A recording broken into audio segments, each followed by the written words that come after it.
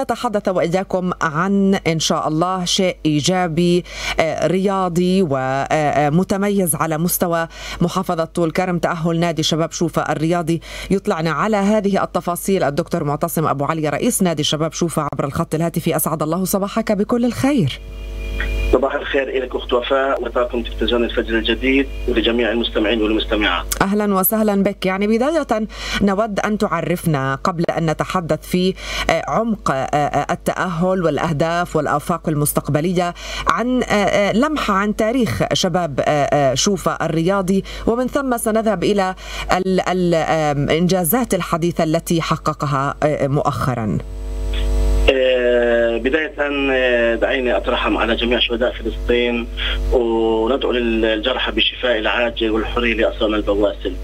آه، أخت وفاء آه، نادي شباب شوفي طبعا هو حديث العهد حيث تأسس هذا النادي عام 2018 آه، شارك في طبعا دوري المناطق وتأهل إلى الدرجة الثالثة والحمد لله رب العالمين اللي ربنا أكرمنا السنة وتم التأهل إلى الدرجة الثانية. طبعا كل هذا بجهود لاعبينا وإدارتنا وجماهيرنا اللي دائما واقفين معنا الحمد لله. جميع هذه الجهود أثمرت هذا التأهل واللي بنهديه من خلال إذاعتكم الموقرة إلى جميع الرياضيين في مدينتنا الحبيبة طول كرم. آه، كون نادي شباب شوفة هو لعب ليس باسم شوفة فقط وإنما باسم مدينة طول كرم حيث كان هو النادي الوحيد. ضمن هذه الدرجة والحمد لله اللي ربنا وفقنا وتأهلنا إلى الدرجة الثانية.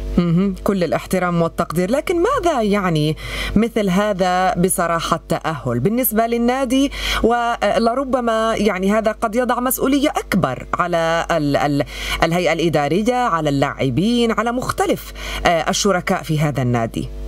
اخت وفاء آه، اللي بتحكي 100% طبعا آه، اللي مطلع على آه، الدوريات الفلسطينية بمختلف درجاتها سواء كان المحترفين المحترفين جزء درجات الثانية والأولى والمناطق. طبعا هذا هو الترتيب اللي بنبلش فيه الأندية اللي هو عملية الصعود من درجة إلى درجة. هذه بداية بتكون طبعا اللي هو دور المناطق بيكون متاح إلى جميع الأندية اللي غير مصنفة. بتلعب بطولاتها حسب المناطق الموجودة فيها في في الشمال في الشمال والجنوب والوسط. ومن آه، ثم اللي بتاهلوا فريقين من درجه من دور المناطق إلى الدرجة الثالثة. ومن ثم آه، يتم مسابقات أو إجراء مسابقات وبطولات ودوري للدرجة الثالثة. ومن ثم اللي بتأهل فريقين هم طبعا اللي بيكونوا بيحوزوا على أعلى نقاط واخذوا فريقين منهم. وبتأهلوا إلى دوري الدرجة الثانية ومن ثم إلى دوري الاحتراف الجزئي ومن ثم إلى الاحتراف نعم. إن شاء الله. ما الذي بحاجة له نادي شباب شوفة بصراحة حتى يتمكن من الاستمرارية بقوة وبأداء يرضي الفريق ويرضي بصراحة الجماهير بذات الوقت. أخت وفاء يعني هنا النقطة اللي حكيتيها هذه هي يعني آه، أهم نقطة بصراحة وبشكرك على آه، تسليط الضوء على هذه النقطة بالذات. آه، في عندنا عدة عوامل طبعا هي اللي من شأنها إنها ترفع أي نادي أو إنه لا سمح الله إنها تنزل مستوى هذا صحيح. أول شيء في عندنا طبعا جهود الإدارة هذه نقطة أساسية تكاتفهم والخطط اللي بيوضعوها من أجل الوصول للأهداف اللي بيكونوا حاطينها ضمن الخطط الاستراتيجية لأي مؤسسة كان سواء كان نادي أو أي مؤسسة أخرى. الشيء الثاني أو الشيء الثاني طبعا اللي بيفتكروا معظم الأندية والمشكلة اللي موجودة عند بديش أقول لك جميع الأندية معظم الأندية هو الدعم المادي اللي بصراحة بنفتكره وخاصة ممكن يكون في منطقة الشمال أكثر الأندية اللي هو الدعم المادي. يعني إحنا عندنا في شوفي طبعا اخت وفاء آه، آه، قاعدين حاليا بجهود المجلس القروي عندنا بنشتغل على شراء أرض وإن شاء الله إنها آه، تتوفر هذه الأمور من أجل إنشاء ملعب يكون في هذه القرية.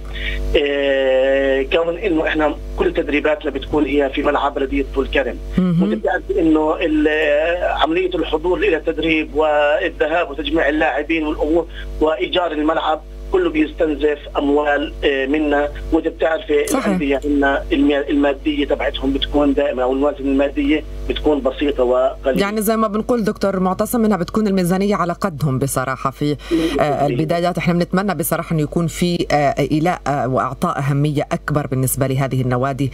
حتى تستطيع أن ترتقي وتتطور وأن تقوم باستجلاب ربما قدرات وكفاءات والعمل على تنمية القدرات المتوفره المتوفرة لديها من الفريق أو الأعضاء الموجودين في هذا النادي. إجمالا الآفاق المستقبلية إلى ماذا يطمح نادي شباب شوفة؟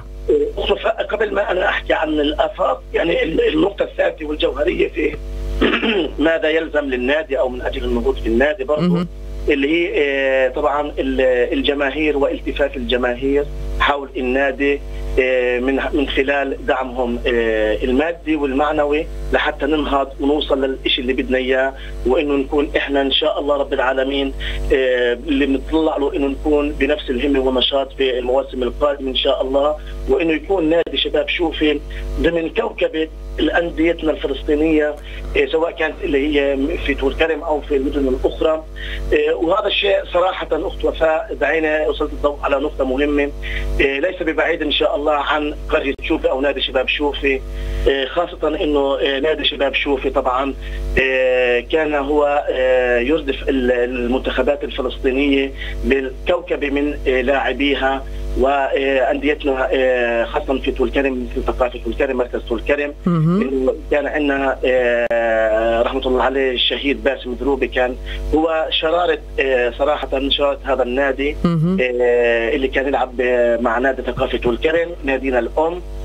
كمان اللاعب منتخبنا الوطني لسنوات عديدة الكابتن أسامة أبو عليا. وأحمد دروبي وإيهاب أبو عليا ومعتصم وسالم وعماد دروبي. كل هذه الأسماء آه، كانت هي في أندية آه، طول كرم ومع المنتخبات الوطنية.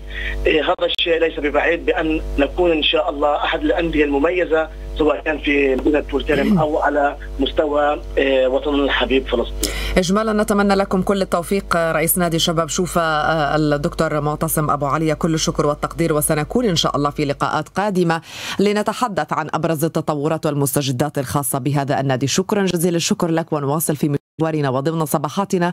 لا تنسوا الإجابة على السؤال التفاعلي كذلك الذي كنا قد طرحناه في بداية البرنامج ولكن بعد الفاصل سنكون وإياكم مع